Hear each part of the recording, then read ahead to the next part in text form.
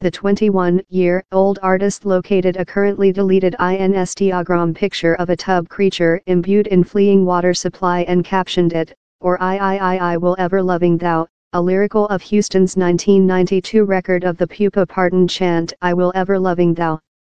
Several fans were frantic by the wiring and took to public print to hole. Other protected Lorde and insisted the artist didn't indicate to do a jest of Houston's die. The New Zealand home located a mention on her Instagram stories to apologize. Very very hardly selected quotation. I'm so disappointed for abusive nobody, she wrote. I hadn't though put thee along I was fair agitated to get a bathtub. I'm an fool, Lorde added. Loving Whitney ever and always. Disappointed once again. She though answered in the comments on the Instagram web page of rumor website The Tint Chamber.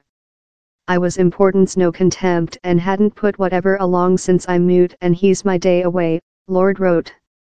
Disappointed.